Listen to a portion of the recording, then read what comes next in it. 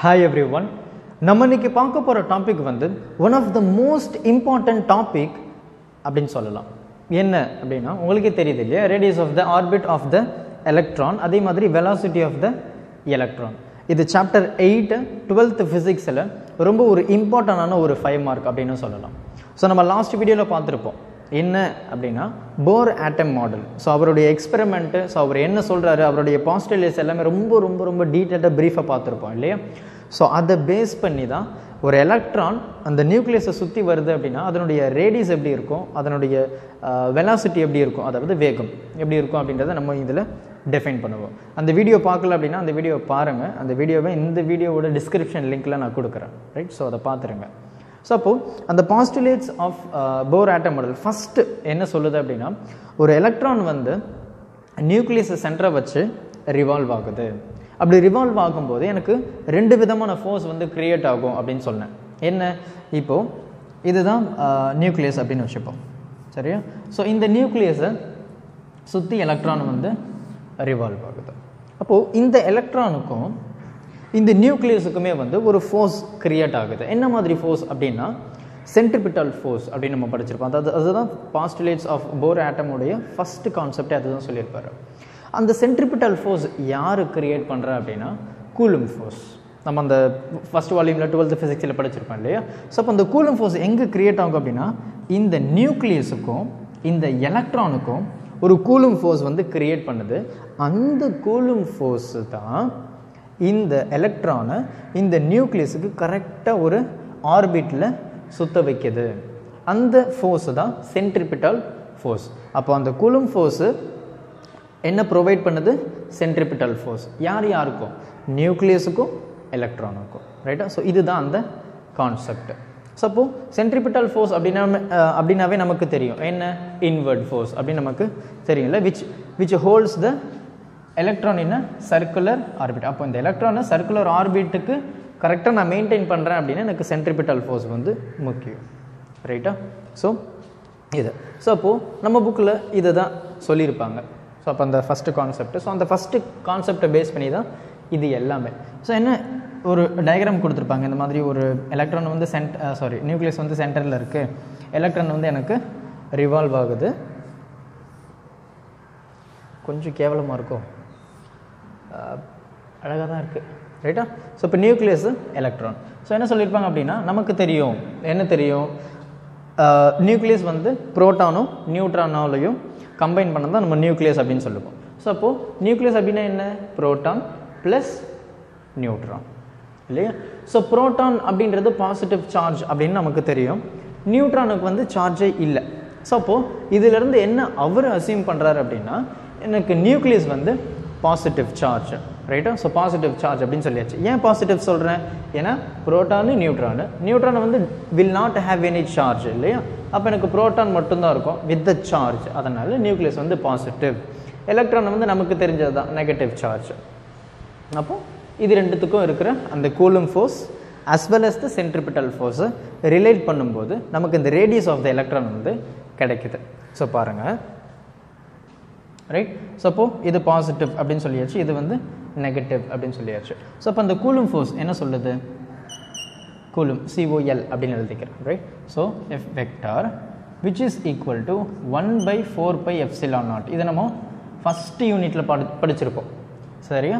So twelfth physics first யூனிட்டில் Coulomb force அப்படின்னு என்ன படிச்சிருக்கோம் one by four pi epsilon naught Z E plus ஓகேவா so plus minus E by R N square ரைட்டா so இதுதான் நம்ம கூலும் ஃபோர்ஸ் அப்படின்னு சொல்கிறோம் இந்த ப்ளஸ் இசட் இ என்ன சார் இந்த மைனஸ் இ e என்னது சார் இப்போ தான் நான் சொன்னேன். இந்த நியூக்ளியஸையும் இந்த எலக்ட்ரானையும் ரிவால்வ் பண்ணுறதுக்கு நமக்கு இந்த கூலும் ஃபோர்ஸ் வந்து முக்கியம். அந்த கூலும் ஃபோர்ஸை எனக்கு சென்ட்ரிபிட்டல் ஃபோர்ஸ் வந்து கிரியேட் பண்ணுது. இப்போ தான் சொன்னேன் இல்லையா? அப்போது இந்த நியூக்ளியஸான பாசிட்டிவ் சார்ஜ் அப்படின்னு சொல்லியாச்சு. ஸோ அப்போது இங்கே இசட் அப்படின்றது என்ன எடு என்ன எடுக்கிறாங்க அப்படின்னா இந்த ஆட்டமுடைய atomic number right so atomic number Z since this is positive அப்போ ப்ளஸ் இ பொசிட்ரான் அப்படின்னு கூட நம்ம சொல்லுவோம். பொசிட்ரான் அப்படின்னா நமக்கு வந்து positive charge of electron so இது வந்து நம்ம நியூக்ளியஸை பற்றி தான் பேசுகிறோம் ரைட் ஸோ இது ப்ளஸ்ஸு அட்டாமிக் நம்பரு இந்த சார்ஜு இதை ஹோல்டு பண்ணுறது யார்? இது. இந்த எலக்ட்ரானு அது நெகட்டிவ் சார்ஜ் மைனஸ் இ இந்த four pi epsilon naught R N square so R N அப்படின்னு என்ன சொல்லுது அப்படின்னா இந்த எலக்ட்ரானுடைய லாஸ்ட் ஷெல் அப்படின்ற மாதிரி N number of shell so அதனுடைய ரேடியஸ் எப்படி இருக்கும் அப்படின்றது right so R N square so Coulomb force தான். ஸோ இது நம்ம ரீஅரேஞ்ச் பண்ணனா எப்படி பண்ணலாம்? ரொம்ப ரொம்ப சிம்பிளான ஒரு விஷயம் தான். இந்த ப்ளஸ் மைனஸ்னால இந்த மைனஸ் முன்னாடி எடுத்துகிட்டு வந்துருப்பாங்க. நமக்கு தெரியும் இல்லையா? ப்ளஸ் இன்ட்டு மைனஸ் வந்து மைனஸ் அப்போ மைனஸ் முன்னாடி எடுத்துகிட்டு வந்துட்டு one by four pi epsilon naught so இதே தான் ரைட் ஸோ அப்போ Z E square E E தான் இல்லையா? அப்போது இசட் இ ஸ்கொயர் பை இந்த R N square right so இப்போ அதுக்கப்புறம் இங்கே ஆர் வெக்டார் அப்படின்னு சொல்லியிருப்பாங்க ஆர் கேப்பை ஸோ இது வந்து எஃப் வெக்டார் கூலும் ஸோ அப்போது இந்த கூலும் ஃபோர்ஸ் தான் நமக்கு சென்ட்ரிபிட்டல் ஃபோர்ஸ் வந்து க்ரியேட் பண்ணது அப்படின்னு சொன்னேன் இல்லையா? அப்போது நமக்கு தெரியும் இல்லையா? என்ன தெரியும்? சென்ட்ரிபிட்டல் ஃபோர்ஸுடைய ஃபார்முலா என்னது? Which is equal to M V square V square by R so இப்போ நம்ம என்த்து ரேடியஸ் அப்படின்னு நம்ம டிஃபைன் பண்ணும்போது இந்த வெலாசிட்டியும் என் அப்படின்னு சொல்கிறேன் ஸோ என்த்து ஷெல்லுடைய வெலாசிட்டி விஎன் அப்போ அதே மாதிரி இங்கே ஆர் என் ஓகேவா ஸோ அதே மாதிரி ஆர் கேப் ரைட்டா ஸோ இது வந்து சென்ட்ரிபிட்டல் ஃபோர்ஸ் இது வந்து கூலும் ஃபோர்ஸ் அப்போது இது என்ன சொல்கிறாங்க அப்படின்னா மாஸ் அப்படின்னு சொல்லியாச்சு இது வெலாசிட்டின்னு சொல்லியாச்சு இது வந்து ரேடியஸ் அப்படின்னு சொல்லியாச்சு. நமக்கு பார்த்தாவே தெரியும். அப்போது இது ரெண்டுத்தையும் நம்ம ரிலேட் பண்ணுறோம் நான் ஸ்டார்டிங்லேயே சொன்னேன். இது ரெண்டுத்தையும் நம்ம ரிலேட் பண்ணோம் அப்படின்னா இதோட ரேடியஸ் வந்து நம்ம ஈஸியாக கண்டுபிடிச்சிடலாம் அப்படின்னு சொன்னேன் ரைட்டா ஸோ அப்போது இதை நான் ஈக்குவேட் பண்ணுறேன் எப்படி ஈக்குவேட் பண்ணுறேன் பாருங்கள் Coulomb force which is equal to centripetal force right so அப்போ நான் ஈக்குவேட் பண்ணுறேன் ரைட் ஸோ மேக்னிடியூட் எடுக்கும்போது எனக்கு இந்த மைனஸ் எல்லாமே போயிடும். நமக்கு தெரியும். அப்போது இந்த கூலும் ஃபோர்ஸு இது.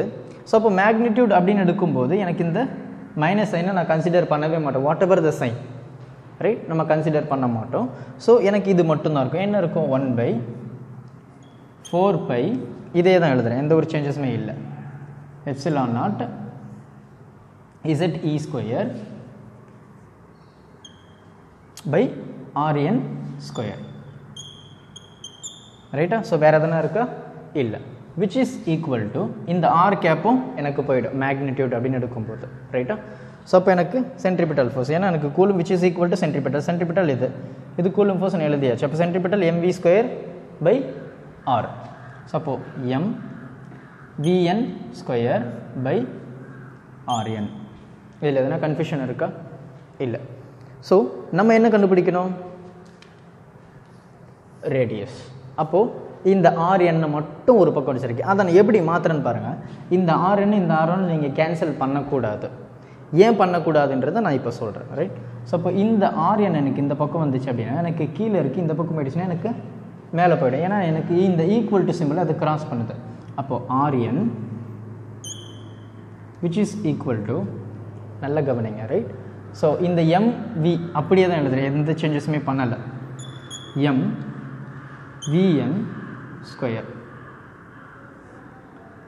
square ஓகேவா ஸோ அப்போது இந்த ஆர்என் மட்டும்தான் எனக்கு தேவை. ரேடியஸ் மட்டும்தான் தேவை. அப்போ இது எல்லாமே நான் அந்த பக்கம் எடுத்துகிட்டு போகிறேன் அப்போ எனக்கு இந்த பக்கம் கீழே இருக்குது அது போய் அந்த பக்கம் போயிடுச்சு அப்படின்னு எனக்கு மேலே போயிடும். ஸோ அப்போது இது இந்த four pi epsilon naught R N square by Z E square எனக்கு கீழே வந்துடும். ஏன்? ஏன்னா எனக்கு அந்த பக்கம் மேலே இருக்குது இந்த பக்கம் வந்துச்சுன்னா எனக்கு கீழே.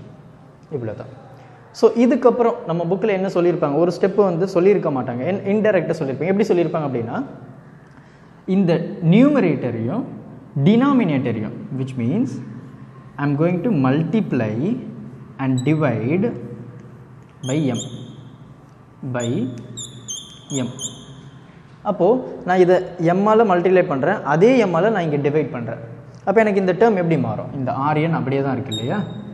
R N which is equal to நான் எம்மால் மல்டிப்ளை பண்ணுறேன் எம்மால் டிவைட் பண்ணுறேன் அப்போ எம் இங்கே எனக்கு ஆல்ரெடி ஒரு எம் இருக்குது அப்போ எம் ஸ்கொயர் அப்படின்னு எழுதிக்கலாமா?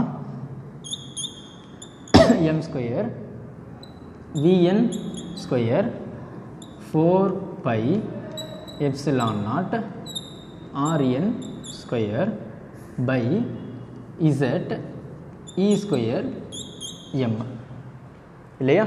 சப்போ நமக்கு தெரியும். So second concept of Bohr என்ன சொல்லியிருப்பாரு?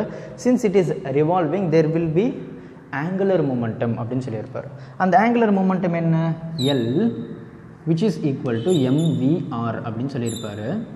So which is also equal to அந்த quantum principal quantum number and the H bar அப்படின்னு சொல்லி இதை நல்லா ஞாபகம் வச்சுக்கோங்க ரைட்டா இது நம்ம போர் ஆட்டம் மாடலில் பார்த்த விஷயம்தான். ஸோ அதுக்கு தான் நான் போர் ஆட்டம் மாடலில் பார்த்துட்டு வாங்க அப்படின்னு சொன்னேன். So angular momentum which is equal to M V R N H bar அப்போது நான் இந்த nth ஷெல் அப்படின்னு கன்சிடர் பண்ணும்போது V N M V R N ரைட்டா அப்போது இந்த எம்விஆர் என்னது?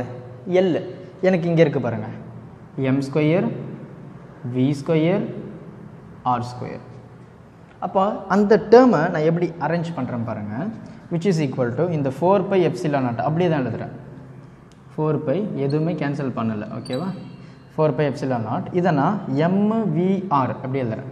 ப்ராக்கெட் போட்டு எம்மு விஎன்னு ஆர்என்னு சொல்லிவிட்டு மொத்தமாக நான் ஸ்கொயர் போட்டேன். எனக்கு எல்லாமே சேம் தான். இது செப்பரேட் பண்ணால் என்ன? M square V N square R N square M square V N square R N square அப்போ நான் மொத்தமாக இப்படி ஹோல் ஹோல் ப்ராக்கெட்டில் எழுதியாச்சு. பை இந்த Z E square M Z E square M அப்போது இந்த எம்விஆர் நான் என்ன சொல்லிட்டேன்? ஆங்குலர் மொமெண்டம் எல் அப்போது இந்த டேர்ம் எனக்கு எப்படி மாறும்? விச் இஸ் ஈக்குவல் டு இது என்னது? R N which is equal to four pi epsilon naught L square இது எல் தான். அப்போ எனக்கு ஸ்கொயர் இருக்குது அப்போ L square by Z E square M இல்லையா? ஸோ இதுதான் நமக்கு கிடைச்ச டேர்ம் இந்த டேர்ம்லேருந்து நான் மறுபடியும் கால்குலேட் பண்ணுற பாருங்க. ரொம்ப சிம்பிளான ஒரு விஷயம் தான் நீங்கள் கஷ்டப்பட தேவையில்லை.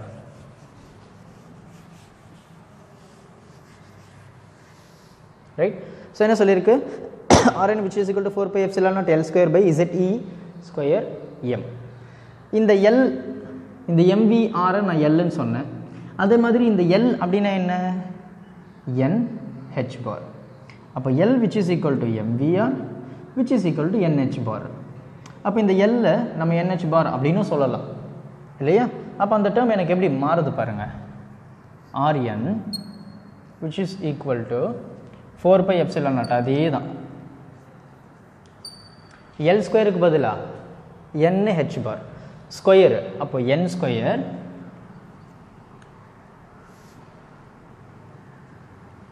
right so N square H bar square நமக்கு தெரியும் ஹெச் பார் அப்படின்னா என்னது?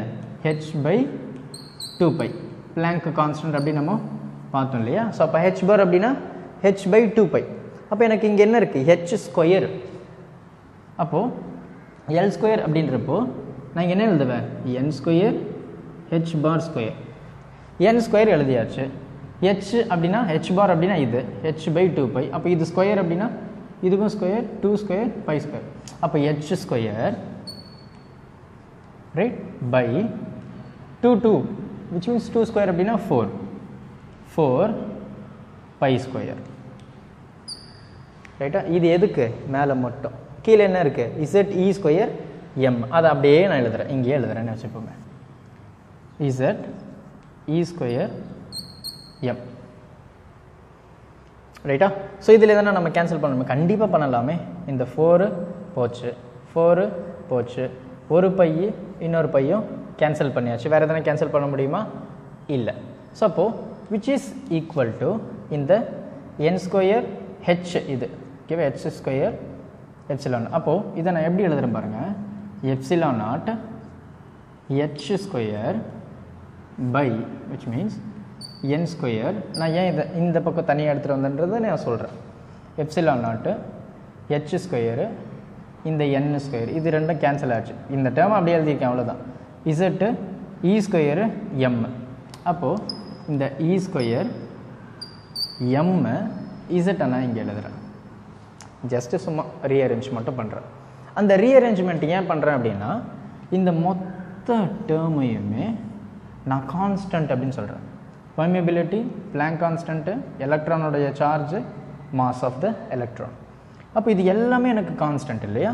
அப்போது r n which is equal to இந்த டேர்மை நான் கான்ஸ்டன்ட் சொல்லிவிட்டு அது ஏ நாட் அப்படின்னு டிஃபைன் பண்ணுறேன் so n square by Z இதுதான் நமக்கு கிடைச்ச ரேடியஸ் ஸோ இந்த ரேடியஸை நம்ம என்ன சொல்கிறோம் அப்படின்னா? போர் ரேடியஸ் அப்படின்னு சொல்கிறோம் so after substituting all the constant value right so எல்லா கான்ஸ்டன்ட்டுடைய வேல்யூ நம்ம சப்ஸ்டியூட் பண்ணிட்ட பிறகு எனக்கு அந்த ஏ நாட்டுடைய வேல்யூ என்ன கிடைக்குது அப்படின்னா ஏ நாட்டுடைய வேல்யூ மட்டுமே point five two nine angstrom so எனக்கு இவ்வளோ வேல்யூ கிடைக்குது. ஸோ நமக்கு தெரியும் ரைட் என்ன தெரியும்? ஹைட்ரஜனுடைய அட்டாமிக் நம்பரும் ஒன்று தான் மாஸ் நம்பரும் ஒன்று தான். அப்போது இந்த இசட்டை நான் முன்னாடியே atomic number of the nucleus அப்படின்னு சொன்னேன். அப்போ அட்டாமிக் நம்பர் என்ன? இசட் ஈக்குவல் டு ஒன் அப்போது இசட்டை நான் ஒன்று எடுத்தேன் அப்படின்னா இந்த டேர்ம் நான் எப்படி எழுதலாம்? R n which is equal to a naught n square by one அப்போ நான் போடுறதும் ஒன்று தான் போடுறதும் ஒன்று தான் அப்போ r n which is equal to a naught n square so இப்போது இந்த என் அப்படின்றது என்ன? நம்பர் ஆஃப் ஷெல்ஸ் நான் சொன்னேன். அப்போது இந்த எண்ணை நான் ஒன் அப்படின்னு எடுக்கலாம் டூ அப்படின்னு எடுக்கலாம் த்ரீ அப்படின்னு எடுக்கலாம் ஃபோர் எடுக்கலாம் five it keeps on going எனக்கு ஷெல்ஸ் வந்து அதிகமாக டிஃபர் ஆகும். அப்போ ஆறு n which is equal to a நாட்டோடைய value நமக்கு தெரியும். இப்போ தான் சொன்னேன். Point five two nine into இது எனக்கு ஒன்னாக இருந்தது அப்படின்னா ஃபஸ்ட்டு ஷெல்லாக இருந்ததுன்னா எனக்கு வெறும் ஒன்று தான். இல்லையா? ஸோ அப்போ எனக்கு இருக்கிற வேல்யூவே கடைசி இது தான் சப்போஸ் எனக்கு ரெண்டாவது ஷெல்லாக இருந்தது அப்படின்னா இந்த point five two nine right ரெண்டாவது ஷெல் அப்படின்னா இந்த எண்ணில் நான் சப்ஸ்டியூட் பண்ணுவேன். டூ டூ சார் எவ்வளோ ஃபோர் அப்போது point five two nine into four which is equal to two point one one six so அதே மாதிரி எனக்கு தேர்ட் ஷெல்லுக்கும் நான் சப்ஸ்டியூட் பண்ணுவேன். அப்போது இந்த a naught point five two nine into three substitute பண்ணா த்ரீ த்ரீ சார் நைன் அப்போ into nine so எனக்கு இன்னொரு வேல்யூ கிடைக்கும் இல்லையா? ஸோ இந்த மாதிரி தான் எனக்கு இந்த ரேடியஸ் வந்து டிபெண்ட் பண்ணியிருப்பாங்க. ஸோ அப்போது இந்த ரேடியஸை என்ன ரொம்ப சிம்பிளாக சொல்லணும் அப்படின்னா r n is directly proportional to n square அப்படின்னு கொடுத்துருப்பாங்க. ஸோ இதிலேருந்து என்ன? R n directly proportional to n sir என்னன்றது orbit number of orbit suppose first shell second shell third shell அப்போ அது ஏன் ஆருக்கு டைரக்ட்லி ப்ரொபோஷனல் அப்படின்னா ரொம்ப சிம்பிள் எனக்கு ஃபஸ்ட்டு ஷெல் அப்படின்னா அதனுடைய ரேடியஸ் இவ்வளோ இருக்குன்னு வச்சுப்போம். அப்போ எனக்கு செகண்ட் ஷெல் அப்படின்னா எனக்கு ரேடியஸ் பெருசு. மூணாவது ஷெல்னா இன்னும் ரேடியஸ் பெருசு. அப்போது எனக்கு ஷெல் எவ்வளோக்கு எவ்வளோ இன்க்ரீஸ் ஆகிட்டே போதோ அதே மாதிரி எனக்கு ரேடியஸும் இன்க்ரீஸ் ஆகும். ஷெல் இன்க்ரீஸ் ஆகுது ரேடியஸ் இன்க்ரீஸ் ஆகுது. அதுதான் r directly proportional to n இதுதான் அதோட அர்த்தம். ஸோ நம்ம இதை வந்து இன்னொரு ஆங்கிளில் டிஃபைன் பண்ணோம் அப்படின்னா L which is equal to m v r n which is equal to n h bar இல்லையா? ஸோ இதுதான் எனக்கு ரேடியஸ் கண்டுபிடிக்கிற மெத்தட் இப்போ நான் வெலாசிட்டி கண்டுபிடிக்கணும். வெலாசிட்டி எப்படி கண்டுபிடிப்பேன்னா இதே மெத்தட் ரொம்ப ரொம்ப சிம்பிளான மெத்தட் நீங்கள் கஷ்டப்பட வேண்டிய அவசியம் இல்லை. இதை நான் அப்படியே அழிச்சிடுறேன் ரைட்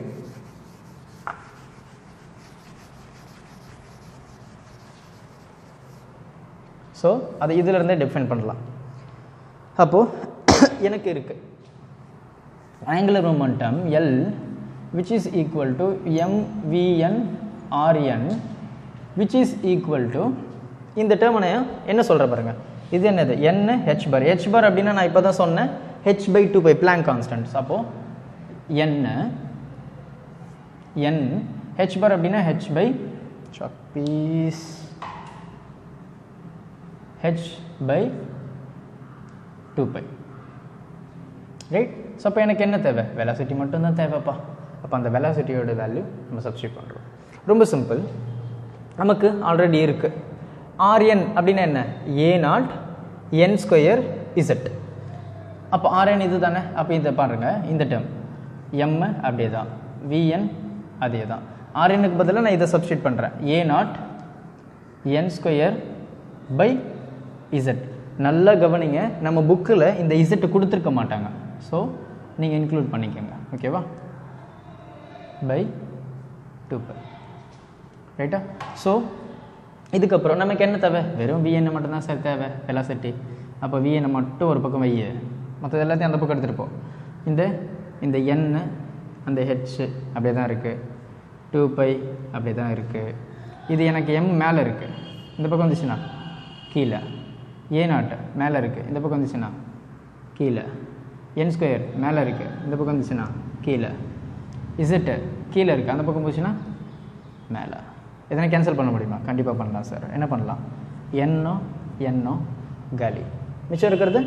அப்போ v n which is equal to h by இந்த Z two pi right so அதே எம்மு அதே ஏ நாட்டு இது என் அவ்வளோதான் right so which is equal to v n so இதிலிருந்து அதுக்கப்புறம் மறுபடியும் என்ன டிஃபைன் பண்ணியிருப்பாங்க அப்படின்னா ரொம்ப ரொம்ப சிம்பிளான ஒரு விஷயம் தான் இது எல்லாமே கான்ஸ்டன்ட் சொல்லியிருப்பாங்க. Suppose v n is inversely proportional to one by n எப்படி சார் ஒன் பை என் எனக்கு இசட் பை என்ன தானே வரும். இசட்ன்றது ஒன் அட்டாமிக் நம்பர் ஒன்று இல்லையா? அப்போ விஎன் இஸ் இன்வர்ஸ்லி இது inversely proportional by one by n ஏன் இன்வெர்ஸ்லி ப்ரொபோஷன் அப்படின்னா ரொம்ப சிம்பிள் எனக்கு இங்கே நியூக்ளியஸ் இருக்குது எலக்ட்ரான் ரிவால்வ் ஆகுது மூணு ஆர்பிட் மட்டும் வரைஞ்சிருக்கேன். இந்த v is inversely proportional to one by n அப்படின்னா எனக்கு இங்கே first shell second shell third shell electron இருக்குது ஃபஸ்ட்டு ஷெல் அப்படின்னா எனக்கு எலக்ட்ரான் வந்து வேகமாக சுற்றும் ரைட்டா அப்போது ஒரு எலக்ட்ரானுடைய வெலாசிட்டி வந்து இன்வர்ஸ்லி ப்ரொபோஷனல் டு என் எனக்கு இதனுடைய ரேடியஸ் கம்மியாக இருந்தது அப்படின்னா இதனுடைய வேகம் வந்து அதிகமாக இருக்கும். அப்போது எனக்கு ரேடியஸ் கொஞ்சம் இன்க்ரீஸ் ஆகும்போது இதோட வேகம் குறையுது. இன்னும் இன்க்ரீஸ் ஆகும்போது குறையுது. இதுதான். இன்வர்ஸ்லி ப்ரொபோஷனல் அப்படி இன்வர்ஸ்லி ப்ரொபோஷனல் அப்படின்னாவே நம்ம அதான் சொல்லுவோம். ஒன்று அதிகமாச்சுன்னா இன்னொன்று கம்மியாகும். எனக்கு இங்கே ரேடியஸ் அதிகமாகுது வெலாசிட்டி